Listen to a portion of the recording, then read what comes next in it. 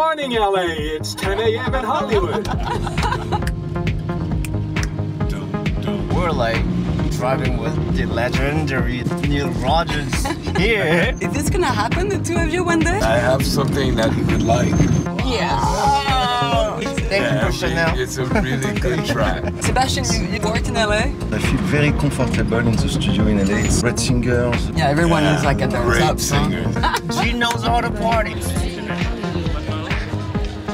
The shows that I've seen Virginie produce feel tongue in cheek, aware of themselves, slightly confrontational, but then very relaxed. And I feel, you know, liberated to watch shows like this. It was really festive and exciting. There's like this one black dress. It moved really pretty. It had these like big sparkly heels with it and gray tights. That one was my favorite.